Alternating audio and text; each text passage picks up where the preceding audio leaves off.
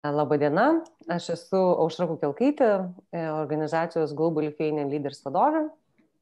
Ir šiandieną mes e, pradedame antrąjį e, Meet and Greet renginį su energetikos kompanija Ignitis Group.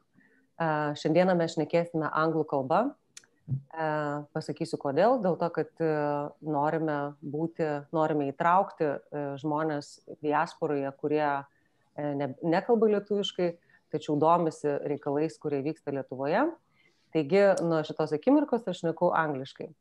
Hello everybody, everyone who uh, uh, welcome to uh, JLL meet and greet. I'm Aušra Kukelkaitė, the uh, uh, Chief Executive Officer of uh, Global Lithuanian Leaders Organization. Uh, this uh, meet and greet event is part of uh, Talent Reach program, which is meant to connect Lithuanian leading companies with the professional Lithuanian professional diaspora abroad all over the world, so that they can meet eye to eye and uh, and uh, discuss and and meet each other and understand each other better the needs of diaspora if they are considering uh, coming back to Lithuania and also the what the what the Lithuanian companies are looking for and what they are in general. Uh, so this event, uh, meet and greet event, is the second in the series. Uh, we already had one event with the unicorn Vinted, uh, today we are meeting with Ignitis Group and uh, and uh, on November 12th we will be meeting with the with Luminor Bank. So I would like to present uh, uh, to our today's panelists. I will start with our moderator first, who is Gintare Budrūnaitė. She is a chair of the board in uh, Lithuanian uh, London City Club. And this is a Lithuanian uh, club of professionals in London City. Uh, um, and we also, I would like to greet uh, uh, two, our two panelists from Ignitis Group. I will start with Diana, who is, um, who is head of head of Poland region of Ignitis Group. Hello, Diana. Hello, everyone. Uh, and uh, Darius Maikštėnas, who is the CEO and chair of the board at Ignitis Group. Hi, good um, evening. Good evening. So I would like to encourage everyone to use this opportunity that you are meet, uh, you are connecting live, and uh, uh, ask questions in in a Q and A uh, um, box, which is uh, that you can see in the uh, tool toolbar below the uh, in in the lower toolbar. Uh, because uh, please do not ask questions in the chat box because this chat box is is, is not uh, monitored. We will be moderating only questions. We will be seeing only the questions that you will put into Q and A box. So I think this is that much from me. And now I'm transferring my uh, the word to Gintare. Thank you very much, Aušra, and thank you so much for this opportunity uh, to actually meet uh, Ignitis Group and uh, its leaders. Um, what a year we're we having? Uh, it's actually truly unprecedented year for everybody around the world with Corona events, as well as for us in London here and in England with the Brexit events, with more and more Lithuanians, professional Lithuanians returning back to their homeland. And of course, with this return, we're all looking for opportunities at home. And uh, this opportunity to speak with Ignitis, which is uh, an incredible company, it's, it's a great opportunity to know what we actually have in our region. Um, I would like to maybe shortly introduce uh, Ignitis. Uh, I'm sure everybody knows uh, Ignitis Group and heard about it uh, over the last couple of months with its IPO process. Um, but really, um, by revenue, Ignitis is the largest group of energy companies in Baltic states with consolidated revenue of 1.25 billion euros last year. It employs over 4,000 people and it operates in Lithuania, Latvia, Estonia, and Finland. Ignitis Group, uh, group uh, gives opportun uh, opportunity um, uh, to green. Uh, it Ignitis Group is really um, aiming um, to transform itself uh, uh, over next uh, upcoming years.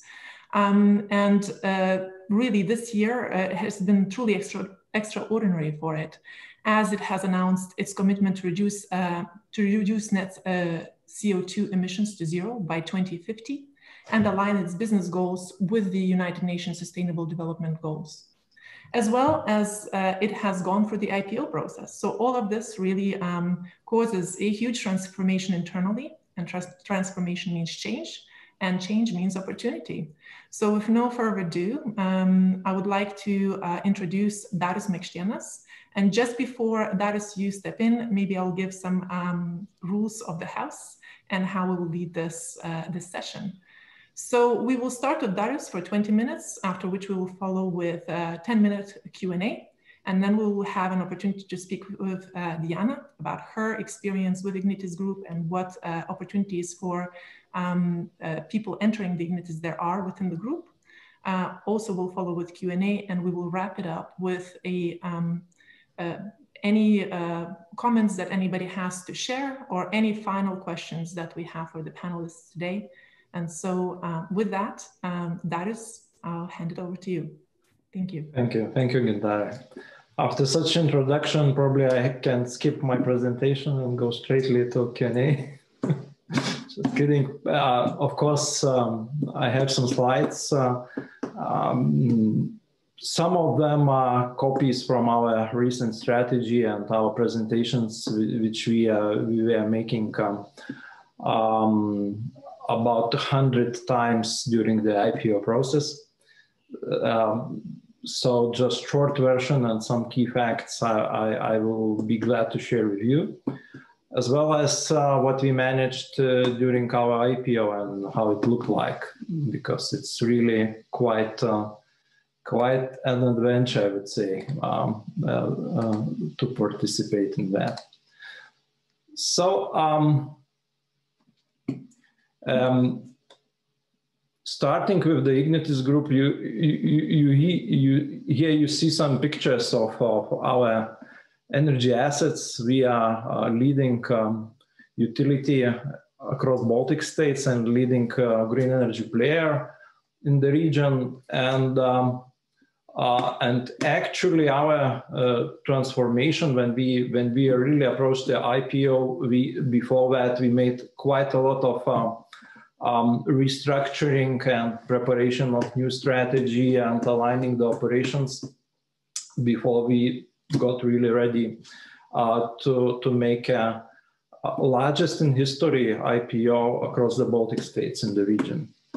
So, uh, um, if, if, to look uh, business-wise, how uh, business uh, um, of Ignitis Group um, um, is for today, um, um, we, we are organized across four uh, main segments uh, networks, green generation, flexible generation, as well as customers and solutions.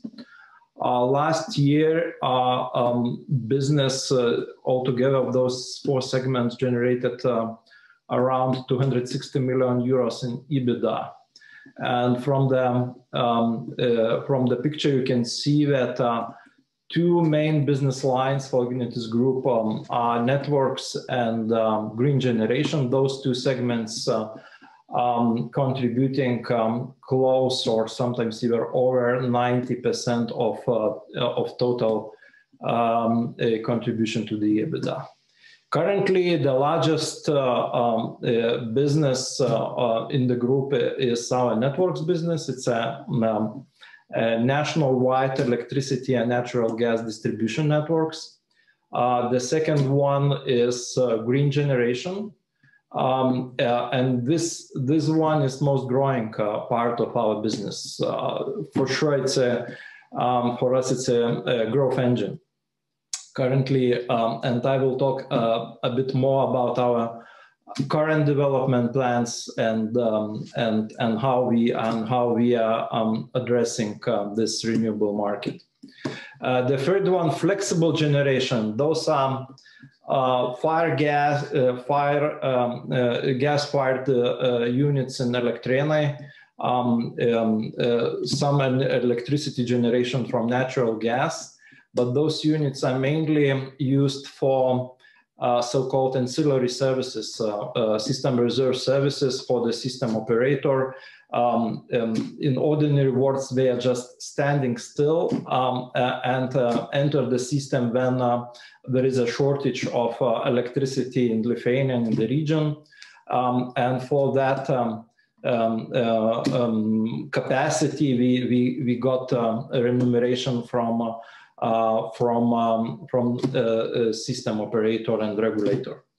And the fourth one, um, customers and solutions, while being smallest EBITDA-wise, only 4% contribution to the EBITDA.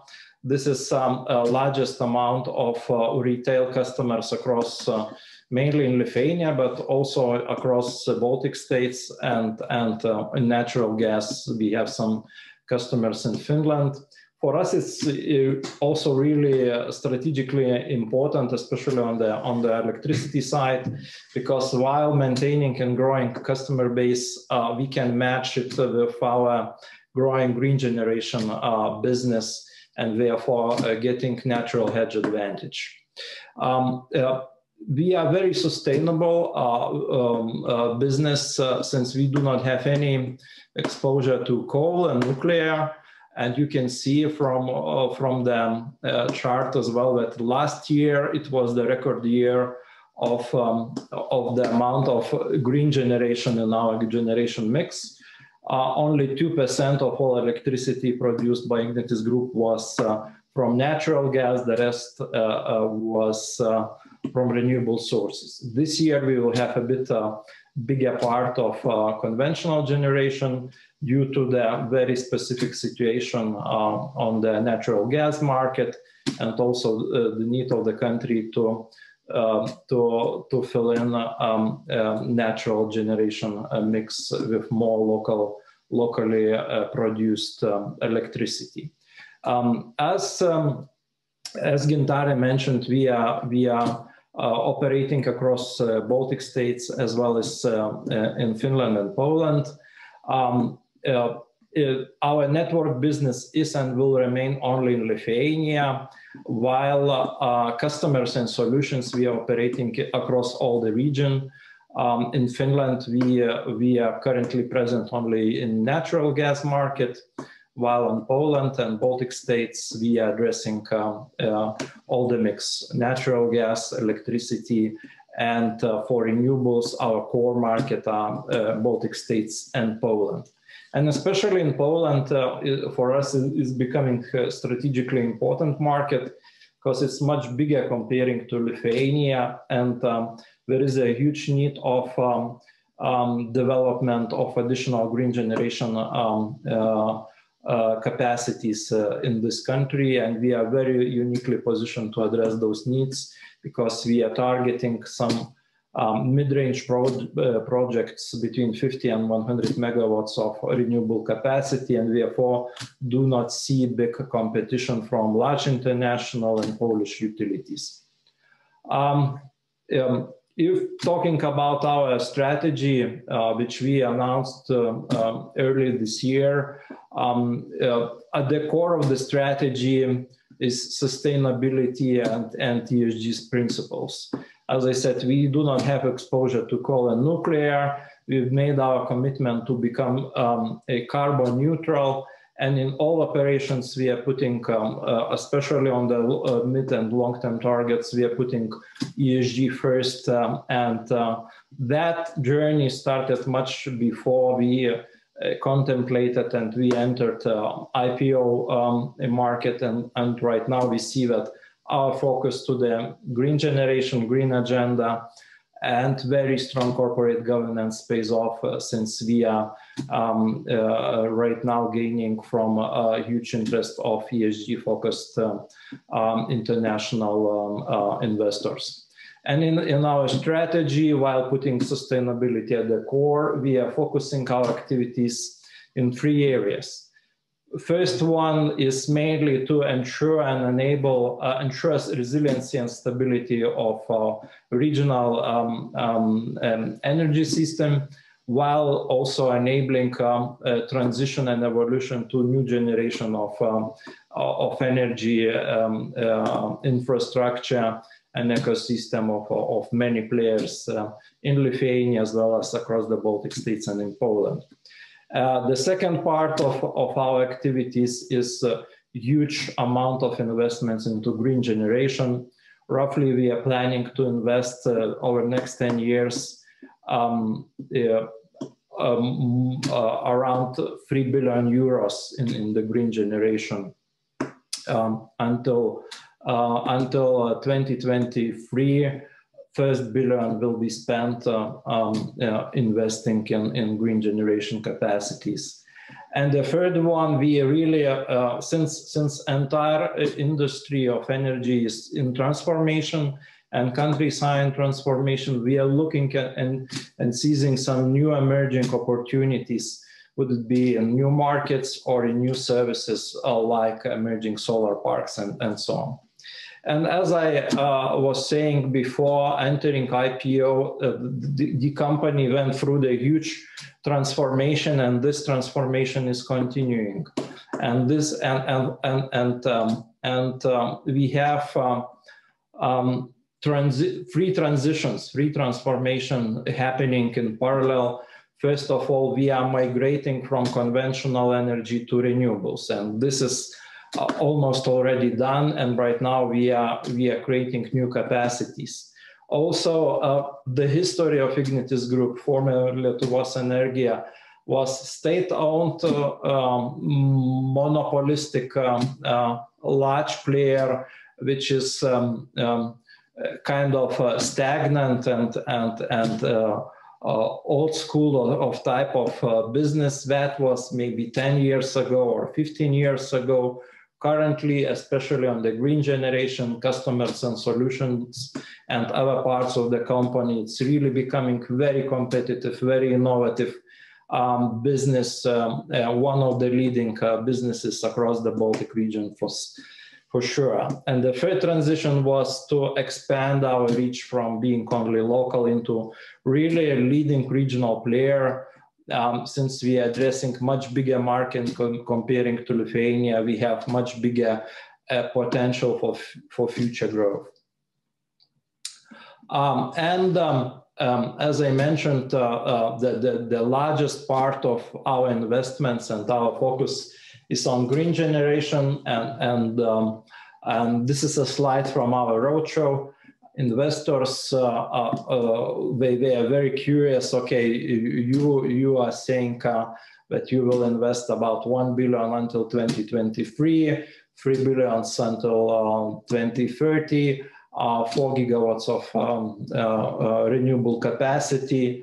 How you, you will get there? So so here is an um, illustration of our current pipeline of um, of um, um, of the current projects. Uh, currently, we have um, um, around one uh, gigawatt uh, of capacity uh, already uh, um, in place in operations, and uh, and you can see um, two wind parks um, currently are in um, in um, construction.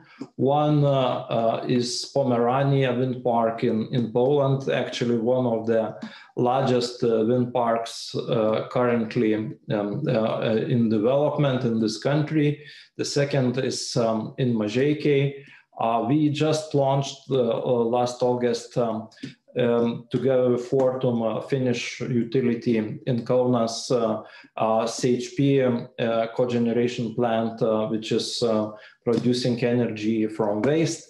Uh, we are, we are um, right now building um, um another cogeneration waste energy and biomass um, CHP in Vilnius.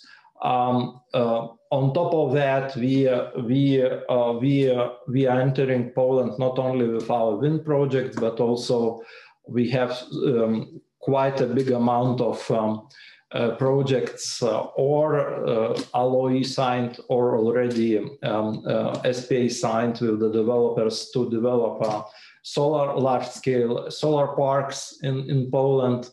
Um, and um, on top of that, we are working with uh, uh, projects of different stages um, uh, across all three Baltic states and in Poland of about amount of one gig gigawatt uh, of uh, projects of different stages. So that will, uh, help us to reach uh, about 1.6, 1.8 gigawatts by 2030. Um, and beyond that, uh, we foresee um, um, uh, offshore wind development in Baltic Sea. Actually, Baltic Sea has a very good conditions uh, to develop offshore wind uh, due to the um, uh, quite convenient um, uh, um, uh, sea environment and, and quite strong wind, wind conditions.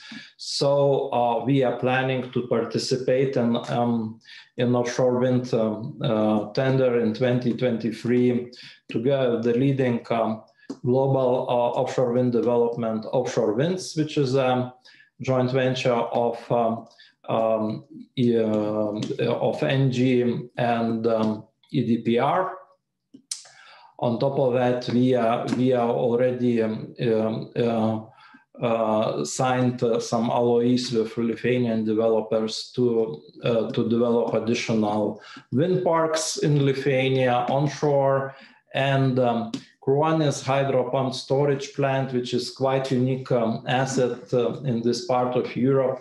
Um, uh, we see the po possibility to expand it, and that will contribute very, very, uh, very efficiently to the overall uh, green generation mix. Since when we are implementing more and more renewables into the grid, um, uh, there is a much uh, higher volatility of prices and peaks of peaks um, in the system. And, and here, um, pump storage plant working as the large, huge battery um, of storing um, electricity uh, um, uh, has its uh, business case um, to contribute to overall uh, ecosystem.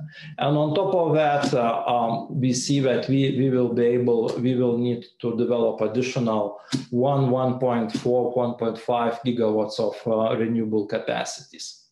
To those who um, who know Lithuania knows um, I, I, was talking a, a, lot about gigawatts, and and to those who do not understand um, uh, how big it is, uh, in comparison, um, I can I can make a, an example of uh, uh um, uh, hydro uh, plant. Um, probably all Lithuanians know um, this um, this unit. Um, um, the, the, the, the size of it and capacity of it, it is um, uh, uh, 100 uh, megawatts. So this means that over the strategic period until 2030, since we are building about three gigawatts of new of new generation capacity, so basically we are building 30 Kaunas uh, hydro uh, uh, hydro plants um, uh, megawatts wise. So it's a really huge investment, huge development for the country, for entire region, and, and for the group um, as well.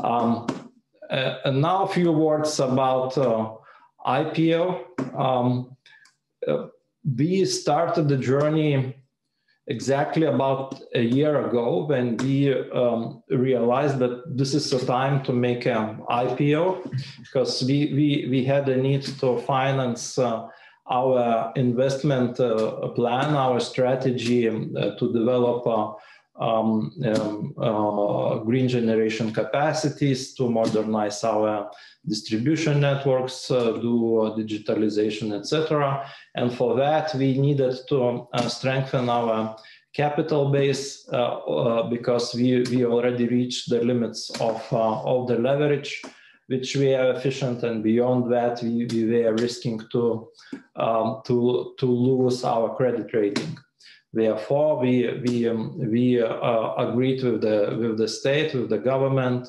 that uh, okay let's let's discuss the possibility to to strengthen the capital base and there was the decision um, uh, made that uh, IPO is the most efficient way uh, uh, to, to, to, strengthen the capital base.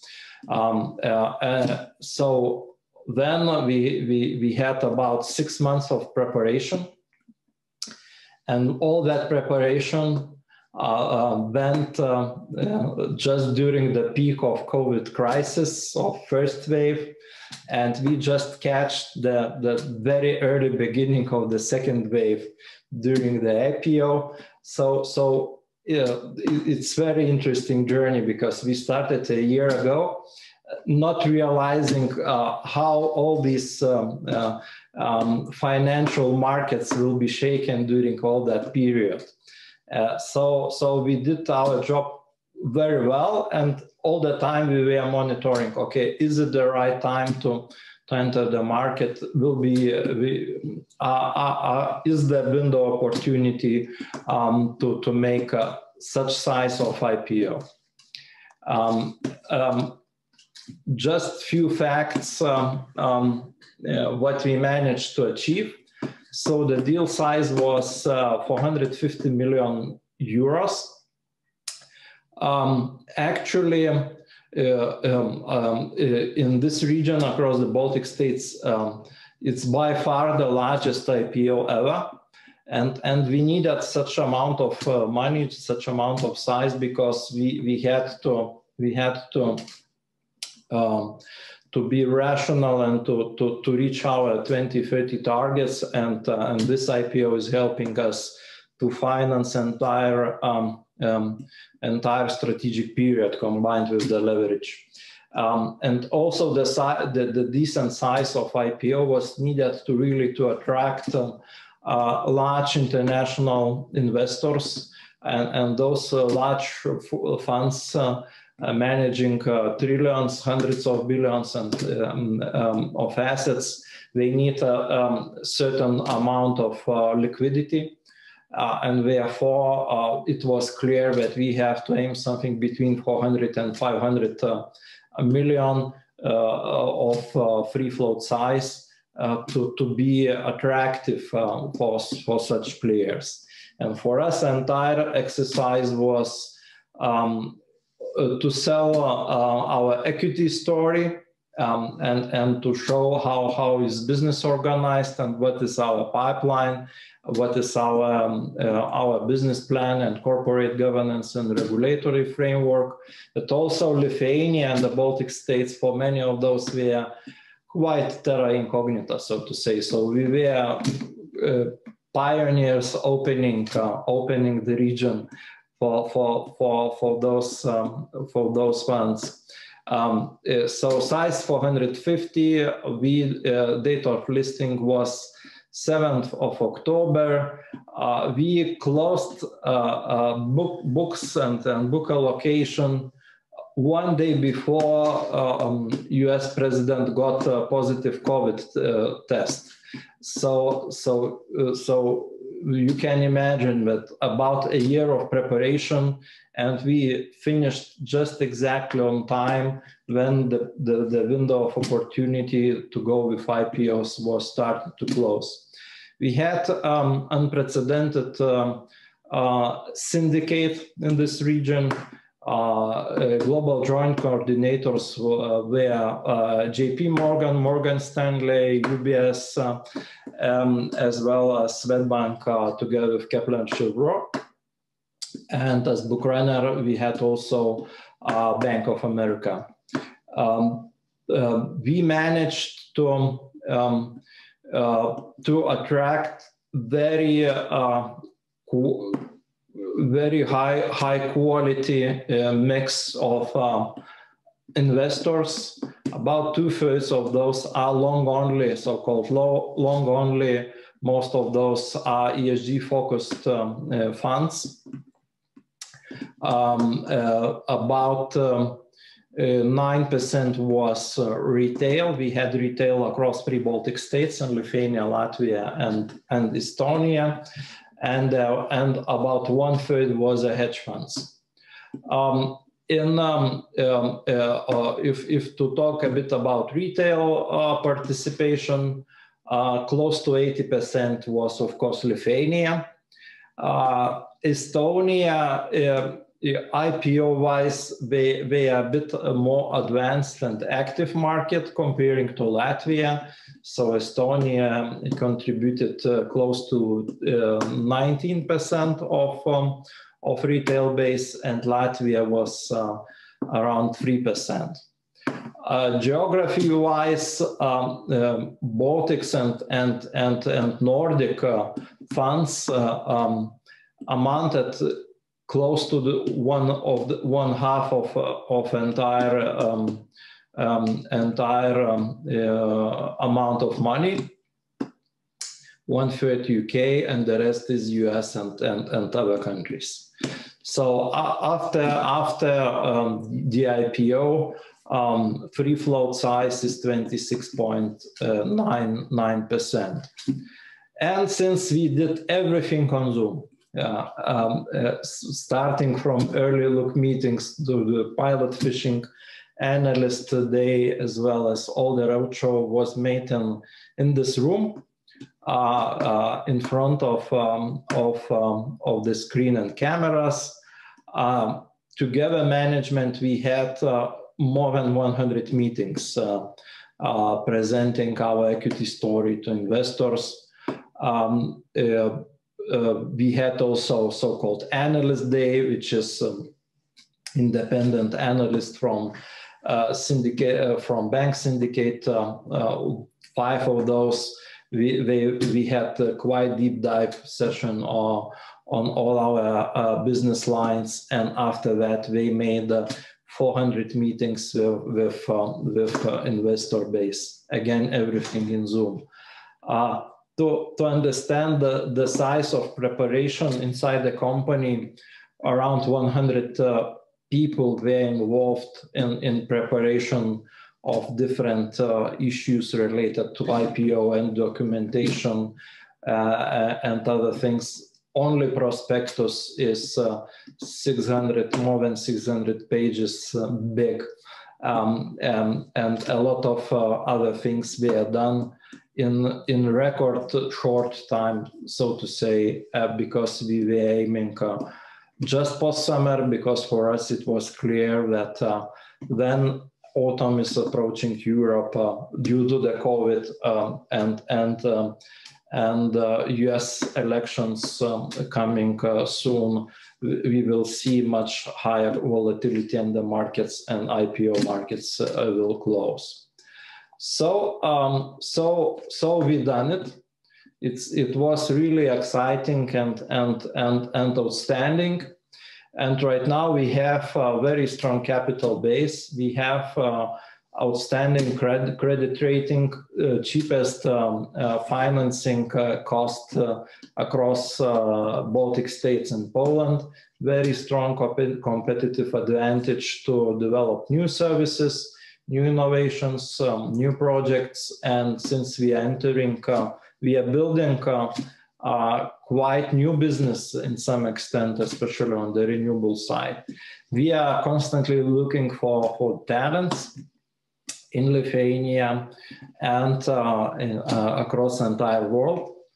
So, so therefore, we, I'm really glad that that we, we had the opportunity to, to meet you and to talk with you again. If you will be interested to to to to to be in touch with us, the the best uh, way to do it is to go to our uh, corporate site ignitisgroup.lt uh, there are different sections of um, news items as well as career section where you can um, um, even subscribe about the news about new positionings opening and uh, continuously to, to, to stay in touch with us. Um, with that, I will close the PowerPoint and um, ready to answer to your questions. Labai ačiū Dariau. Uh, thank you so much. That that is uh, switched to Lithuanian for some reason. Uh, Lithuanian audience, Lithuanian language, but such an impressive geographic and infrastructure ex expansion plans. Thank you so much for sharing it. And uh, what a year to do an IPO. I think we'll remember this for many many years to come. You um, led the group uh, exceptionally well, and the achievement is is incredible. So. We have uh, quite a few questions from the audience and really interesting questions as well. Our audience uh, today, um, although not very large, but uh, the video is going to reach uh, many, many uh, people outside of this, uh, this webinar. So we have USA, Netherlands, UK, Germany, France, Belgium, and people from Lithuania as well. So um, really diverse audience out here. And maybe we'll start with the first question from Mantas uh, Bernatas. Mantas Bernatas is from Copenhagen, uh, and his question is, how do you manage the cultural and digital change from the state-owned company to more privately owned one? And um, definitely more modern one. What were the main challenges you faced? Um, a lot of challenges. On on other hand, uh, this this group, this company, already had very huge potential inside. So when when new new board started. Uh, uh, myself, I, I spent all my career in, in ICT and telecommunications, um, uh, seeing um, seeing um, different industries uh, and uh, and um, and when we when we got the new board um, and an executive team, there was some insiders uh, working with uh, with the company for the longer time, but also we had uh, quite a quite a lot of external competencies uh, from the top, starting from the top, um, which helped us quite a lot because sometimes it's good not to be too big pro professional in very narrow area. and and on, on other hand, uh, um, in banking sector and telecommunication sector, all these uh, large infrastructure companies, they have a lot of similarities actually um, in, in, in, um, in, um, in, issues uh, or uh, what we are facing on. And for us, it was, uh, first job was uh, uh, we, we, we have to be frank, we changed um, almost all CEOs of main business units. Um, um, um uh, networks has a new new CEO, uh, uh, renewables new, flexible new, uh, customers and solutions also new. Some are from energy sector, some are from uh, other sectors as well.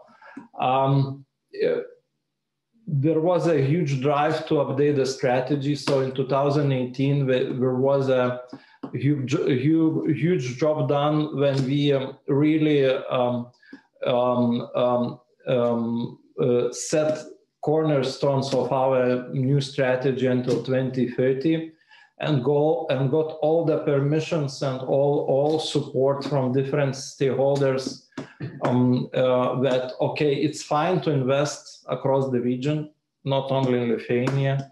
It's fine to create uh, create uh, new new new business units. It's fine to invest billions um, into business areas where you don't have any um, monopoly or any preference comparing to, to other uh, players. And what we learned, learned that those opportunities really uh, made a kind of internal drive for the entire company. Some people, some people left, but we got quite a lot of new people from from from from very different areas and um, I, I, was amazed how um, the typical um, um reflection uh, after after meeting us and and and and of newcomers was that I was never imagined when, when I was going to the state-owned company I was thinking that I will face like a ministry or, or something like that like like bureaucratical type of uh, um, um, enterprise and and I, I, and I entered and I learned that it's probably one of the more most modern companies in very in very dimensions in Lithuania of uh, across all these biggest enterprises. So for a lot of kind of uh, cultural shock for newcomers uh, was uh, as well. Um, it, but uh, the, I would say the level of ambition and level of empowerment what what company got and different business unit units got helped a lot of uh, um, in, in in this transformation actually and empowerment of people of course. That's fantastic to hear. We have um, another question, which uh, is certainly interesting for me as well, being a female. Uh, what is the current gender balance at the board and senior management level? Do you have gender um, uh, gender equality policy? So um, yes, we do,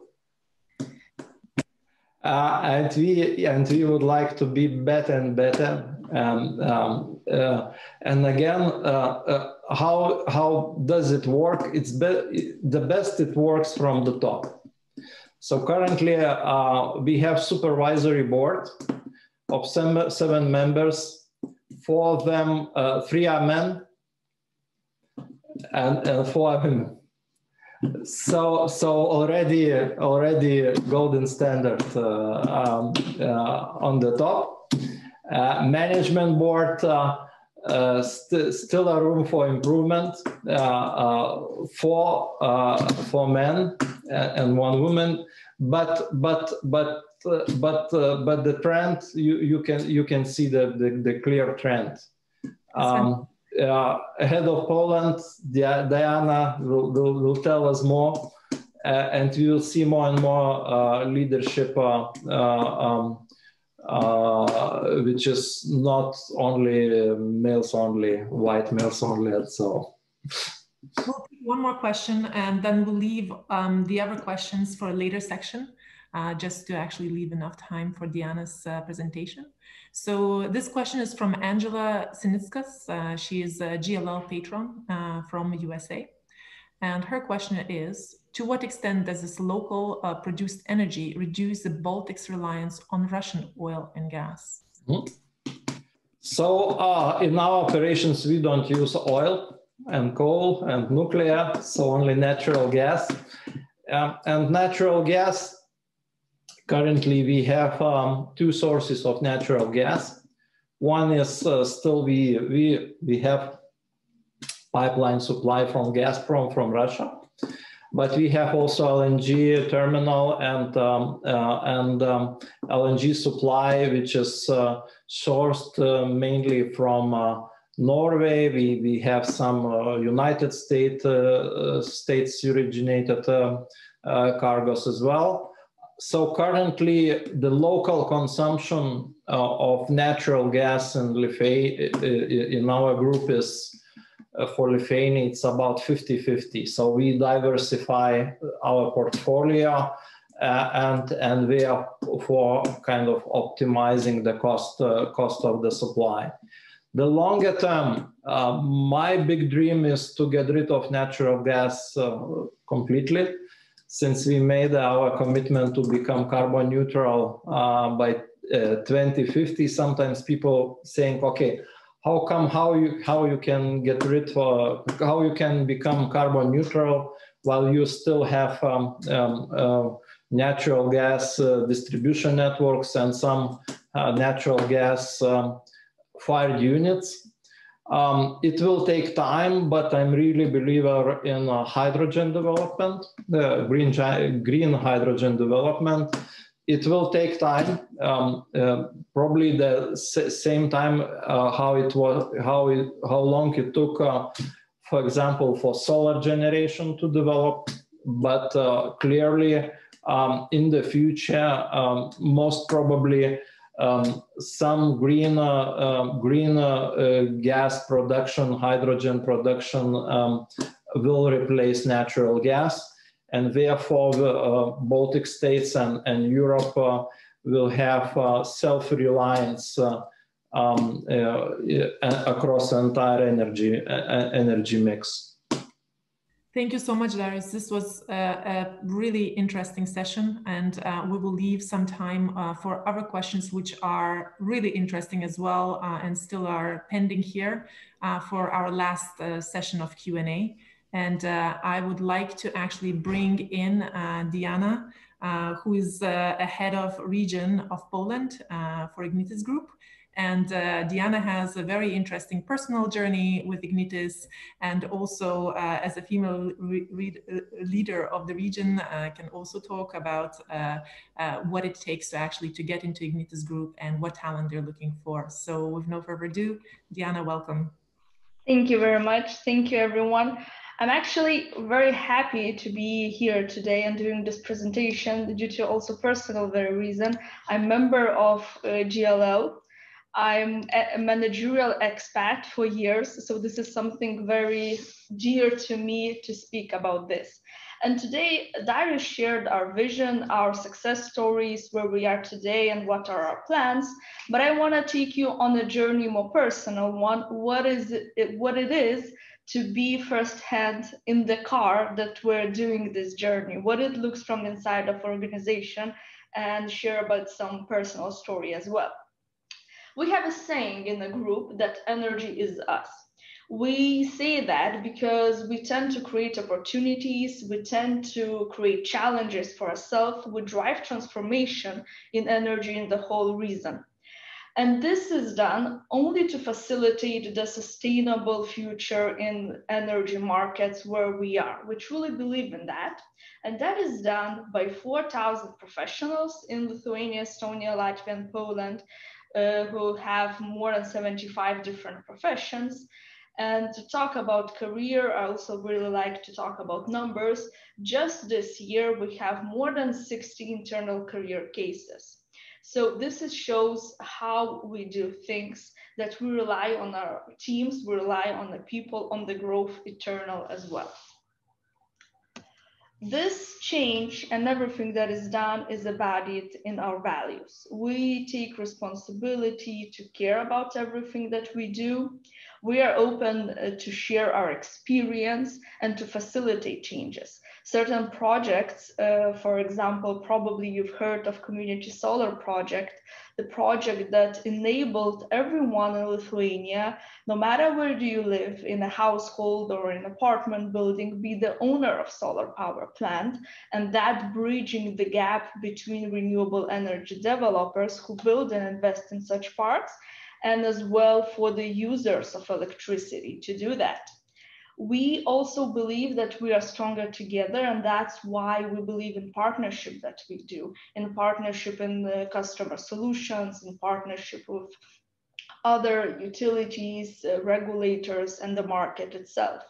And then probably for the topic today that i'm speaking to be a part of ignitis growth it's very important for us the growth we are growing by being bold and curious. And I probably everyone would agree to say that IPO process, as Darius elaborated on it, no one probably thought one year or two years ago that something like that would be even possible from small country Lithuania and some company that was not on the, let's say, map of European Union biggest companies or fast growing companies. So this shows our dedication to our goals and how we challenge that. We are very proud of that. And the growth, the answer is internal growth and the team that grows together with it. Well, I believe that actions speak louder than words. So I have my own uh, experience to share, which is a bit unusual, I would say, because eight years ago, when I came to Ignitis Group, I had determination that I will stay here for a year because eight years ago, uh, Ignitis at the time that was Energija, as Darius mentioned, was completely different company with completely different culture, but actually started to change. And what uh, kept me there, kept me there for years, for eight years and still going, is this drive for change, drive for the future, for the green future, for the transparency, and especially for the sustainability of the future. So uh, my short story is in, I would say, five bullet points, eight years and counting. Within that year, eight years, I changed six companies within the group. Uh, in four different positions, from lawyer to chair of the board, uh, chair of supervisory board of Polish companies and head of region currently.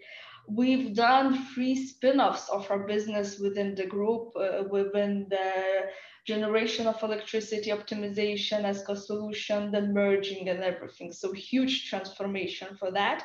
And I'm personally actually been working within the group within three countries, uh, Lithuania, naturally, home country and home in all matters, uh, Latvia, and right now I'm in Warsaw in Poland. So for me personally, because I was asked to share my personal view, the ability to work and create in Ignitis, which is ultimately the beneficial ultimate Lithuanian state, but to create business and values outside in societies in Latvia and Poland, well, this is something incredible and huge motivation to do that, even if it's not that easy sometimes.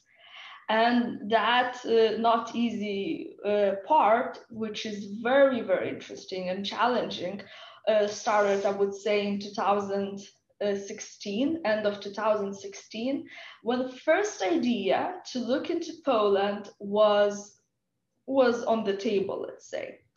That idea led that in 2017, we established a company here, first our Polish company, which started very small activity, commodity trading on Polish market. It was only three employees, and we decided to start with that to look.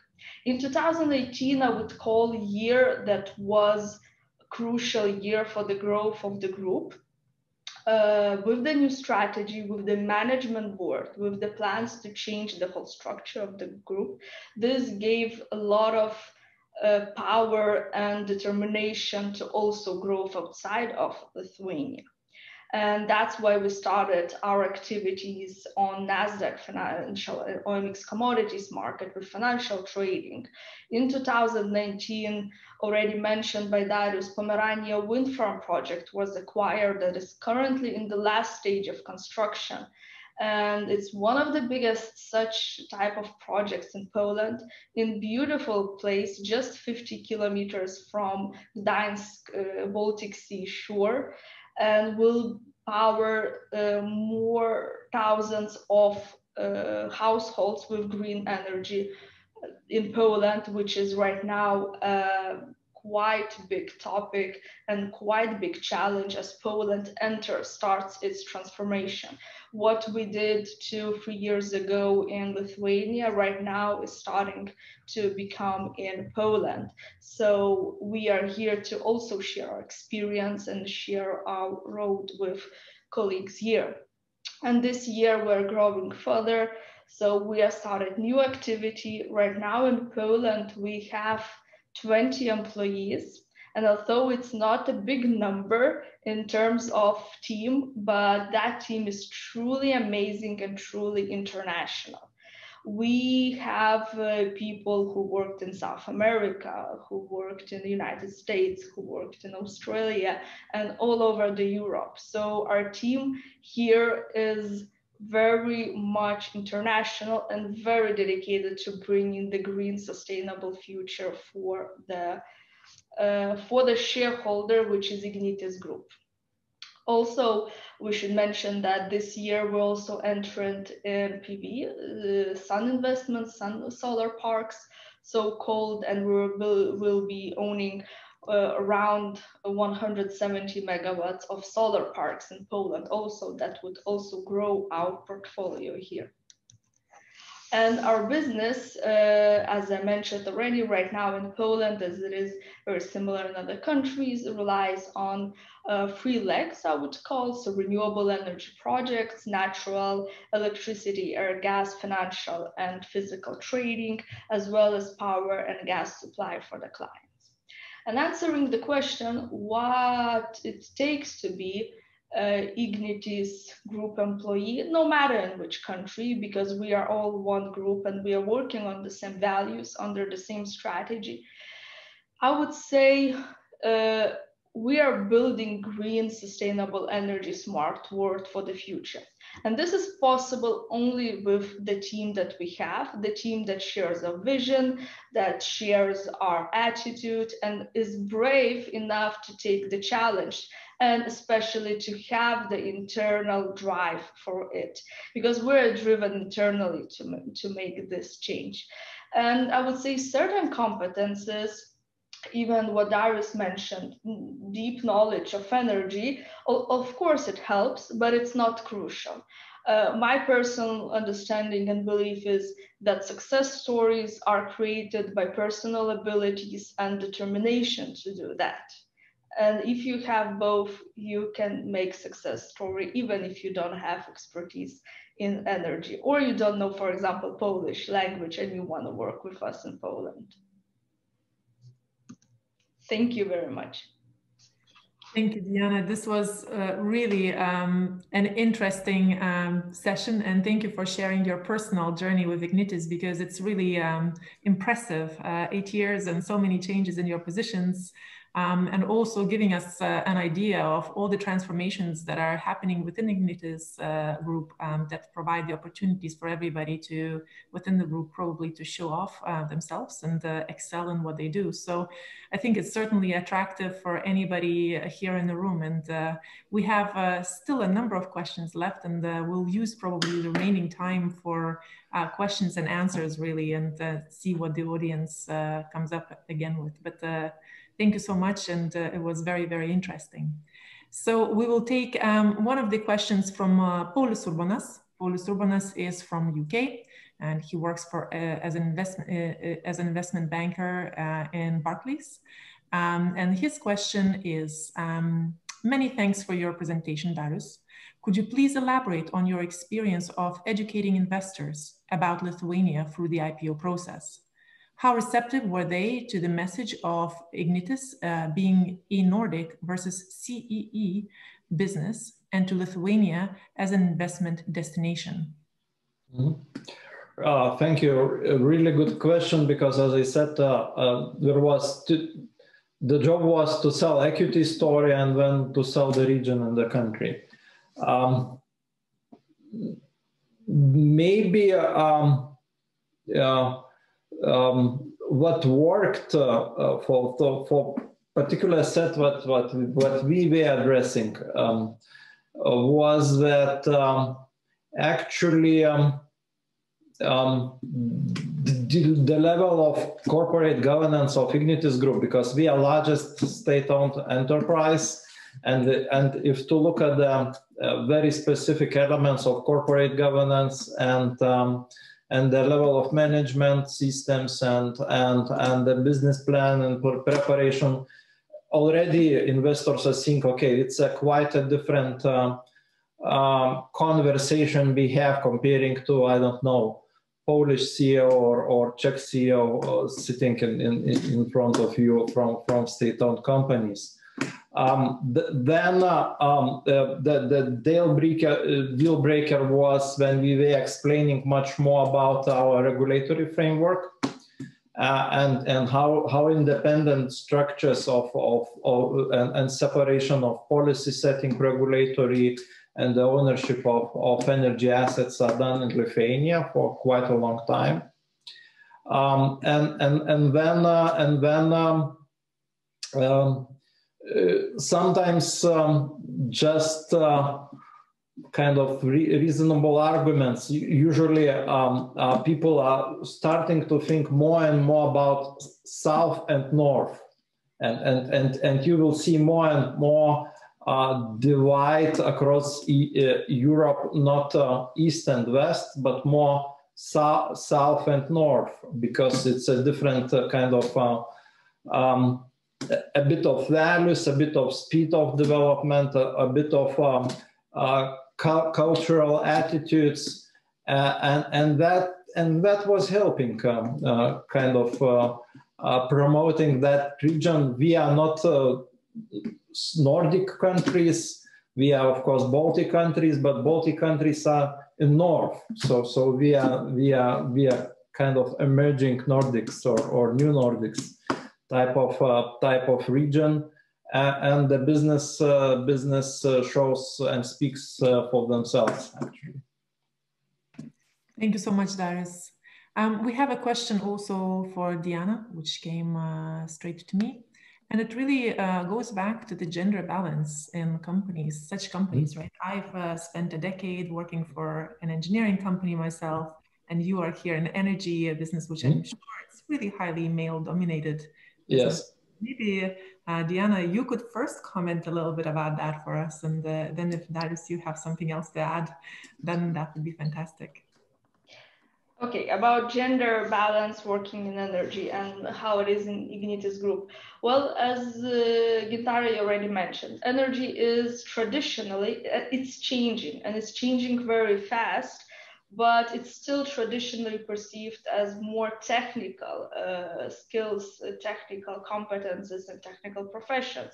So it's always, you know, uh, I've been a mentor to a couple of females, even within a group and outside of group, uh, who wants to have a career in management. And I always start with saying that it's always is a duo. It's not a solo dance. It's always is a duo, and uh, there should be opportunities from the company side but there also should, should be, I would say, encouragement and showing will to take off certain position and certain responsibility from the females as well. Uh, and I would say, probably from my own experience, uh, that uh, in our group it works. Uh, some time ago, uh, being quite young lawyer, I said it out loud to the management of the group that I want to take more responsibilities and I want to try and I did not got answer that you are not okay for us. I got an answer, okay, let's do that. Let's try this. If that succeeds, we can see. And I think this is as in everything that actually happens with the cultural changes, because it's cultural change, it's organizational change it's not that we're just changing you know the form of our letterhead for example. It takes time but the most important is communication communication that we are open to that. And uh, well i've in poland where we are currently a little bit to, to give you know perspective as Darius mentioned, Poland right now in geographical diversification of our group is number one country. That means we're investing in Poland a lot of money, a lot of resources, a lot of plans for Poland, and it's led by a young woman. So I think that we're okay with that. We're not there yet where we probably want to be, as Darius mentioned, but we're getting that.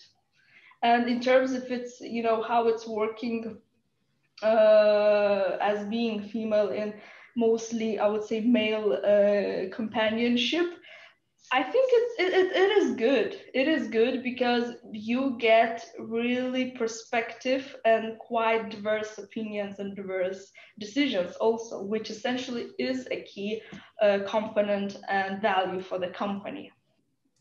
Excellent. Uh, maybe I can add that um, um, business-wise, when when you have only monopoly and and quite a stable environment um, there is a one uh, one situation that when when uh, the, the industry and, and the company has to innovate and is going through the transition, there is uh, the need for much higher business need for diversity because only diverse organization can innovate and can change and can evolve and still find a harmony in that change.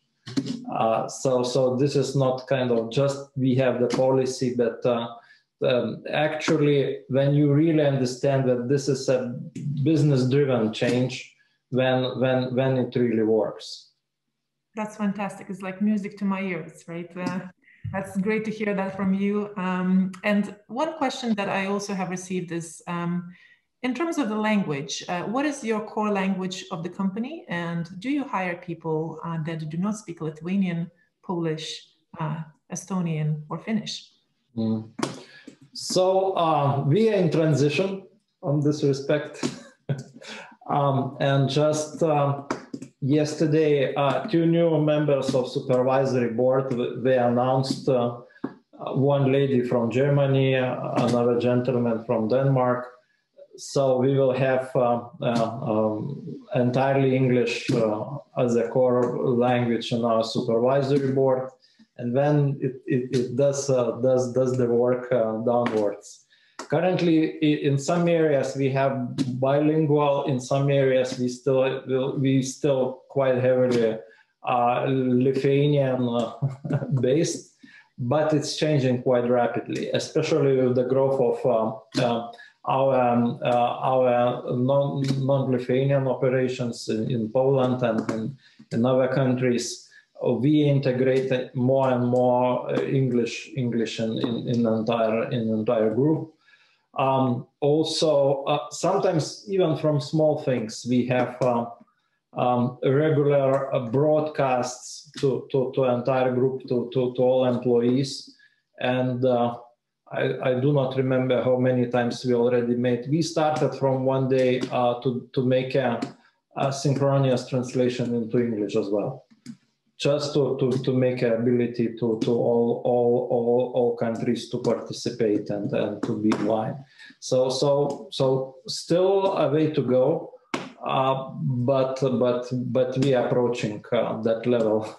Yes, it sounds like wants to bring in a, a, global talent into your company, it's uh, exactly exactly.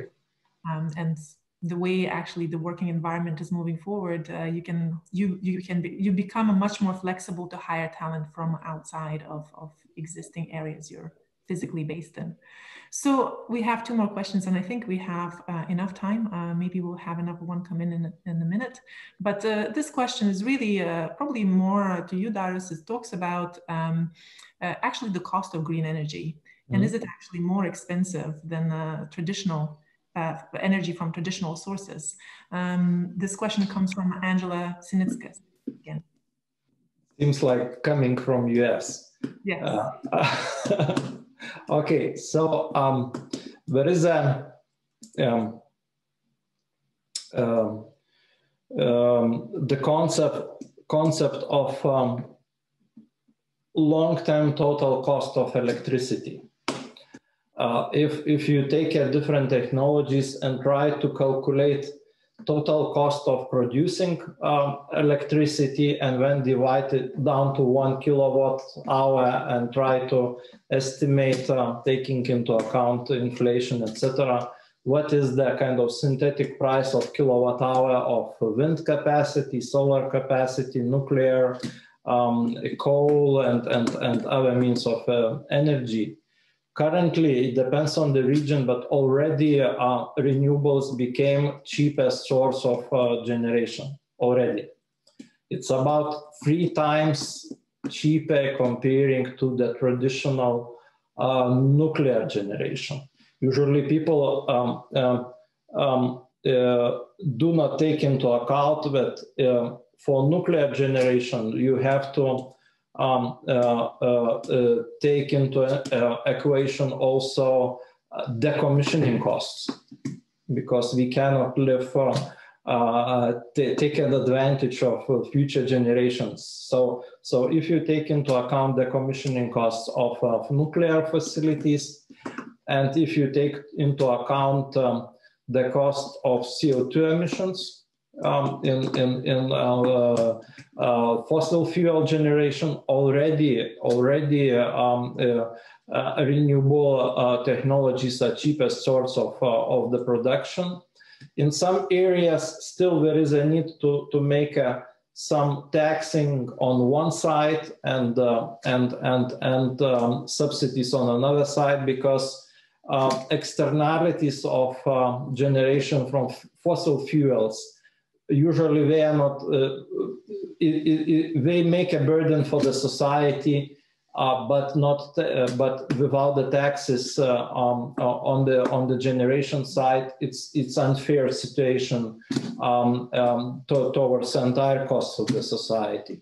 Therefore, in Europe, we have quite efficient, and I really believe that that system will involve uh, the trade of CO2 allowances uh, which are right now traded across the uh, energy sector. And I really believe that uh, that will be, the Green Deal will be expanded into heavy industries as well. And sooner or later, we will see uh, carb carbon taxes uh, not only for electricity but also for steel, um, cement, and other uh, other other items Uh, so, so, and, and, that will make a big, big, big change in, in, in entire ecosystem on. But the answer is renewables are already cheaper, cheapest way of producing energy. Certainly complex, right? Uh, it, it, it's a big change uh, in, on multiple levels, so you cannot really uh, look at it in a traditional way uh, when you're we're trying to estimate the costing. So there's uh, one question that was just sent over to me, um, and it is re related to the governance and board changes. So uh, uh, the question sounds like this. What corporate governance, uh, governance board changes does Ignitis expect as a result of the IPO? No, we do not expect uh, uh, any changes due to IPO. the decision to expand the supervisory board from five to seven members was made before IPO. Just we took the time to to do all the selection, uh, nomination, and and uh, still those new members will be um, appointed um, in in um, in the general meeting, which is will be in November. So so uh, after that, we uh, we have quite quite strong corporate governance. Um, uh, structure in place, seven independent, uh, seven seven members of supervisory board, five out of seven are independent with independent chairman, and supervisory board is appointing um, um, management board and CEO and approving the strategies. So, so that that that's how it works. Excellent. So, final question, um, and hopefully it's an interesting one. It came from Indre Indre Indrunaita. And she's asking, could you tell a bit more about the investment in energy tech side of your work? through the Smart Energies Fund managed by Contrarian Ventures, how is this area of, of your work uh, supported from inside the group? Are these specific, are there specific career opportunities in this area?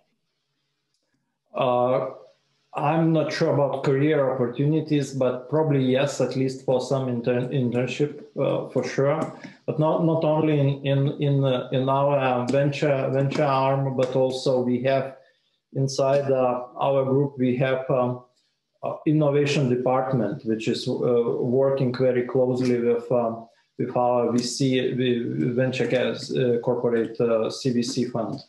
Um, uh, so uh, the need to have uh, innovation, innovation group, innovation department, as well as venture capital fund was not just earn money uh, uh, like uh, most of VCs does. But for us, it's a really strategic tool to to keep to to know what is happening in the industry because when you have VC fund, um, uh, you're working with pipelines of thousands of startups across the Europe. And, and, and it, it works as a huge filter of uh, scanning new ideas and trends uh, uh about the uh, current state of development of different um, energy and IT technologies and also possibilities to, to be in, in, in me, meaningful uh, networks uh, um, of innovation, uh, what is happening right now. So we, so therefore we are investing not only, of course, not only in Lithuanian startups, but uh, we have um, our investments in, um, in, in UK, France, in Israel, Norway, and, and other countries. And usually we are, we, uh, right now already contrarian um, managed to, to, to, to, to got quite strong reputation of, of, of really professional fund, which has a very strong access to the very innovative utility. Because all these startups, they need to have somewhere a playground to, to, to test uh, new, new technologies. And that helps us to, to co-invest in um, in um, very interesting developments with uh, global leading uh, players. As an example, we have um, um, investment in Israel in in very innovative uh, hydrogen, new, new, technology of producing uh, uh, green hydrogen together with Hyundai. And Hyundai is world leader in hydrogen technologies globally. We have um, another investment in UK um, smart um, battery uh, technology startup uh, to, together with Honda. Uh, and Honda, again, they, they, are, they are one of the leaders of, of, of distributing uh, storages um, and, and now moving that technology um, into, into their car fleet. So, so therefore, that helps us to be very well connected to, to new innovations. Uh, fund is growing the value as well. It, it, we, we will see quite quite huge growth on, in value on, on, that part as well. But for us, it's a really um, um, a source of uh, competitive intelligence, actually. It's, uh, it's certainly a great way to test new ideas and keep on top of the new innovations that are coming in, uh, which sometimes if you do them uh, internally within large uh, companies, it's just uh, much more difficult to, to create that creative space. So uh, um, certainly I see a huge benefit there. There's one more question that has just come in and it talks about the um, different ways of working, different forms of working, and especially now with the COVID time, um, you know, work from home, uh, work from another country. Uh, what is the Ignitis strategy? How do you see this? And do you think you will take this moving forward once the COVID goes away? So uh, the strategy is uh, to be uh, as flexible as possible. So uh, um, we, we really, we are very quite well prepared um, uh, just before first wave of COVID. Um, um, we already had uh, quite uh, uh quite uh, well-established remote working um, procedures, um, all tools, instruments, and and and all means what is needed to to to work remotely, including digital signatures, document management systems, etc. So then uh, we, we, we went into first lockdown. We moved, uh, I think, about 1.7, so 1,700 something about that number of employees just in two days to work in, uh, from home. So it was the smoothest and fastest uh, transition in, in, in Lithuania uh, uh, and uh, all commercial banks and others followed us in, in, in, in about a week. So, so and and and um, there was some specific areas when people have to be on place, like uh, um, I don't know, network monitoring and, and, and, and other jobs or, or to take care on infrastructure. But uh, um, um, all this office work or office related work uh, do, during the lockdown, um, all people, um, they, they, are working remotely.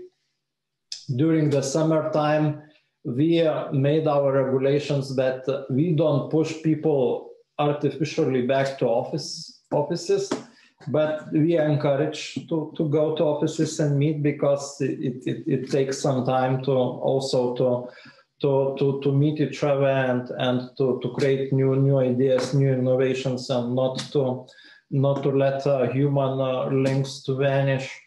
Uh, but uh, uh, during uh, all the summer and, and, and autumn, um, probably something up to 80% or only people return returned to the working places on average, some, something between 60 and 80 and right now we are organically uh, moving back um, uh, to, to, to, to, lower numbers um, in, in office.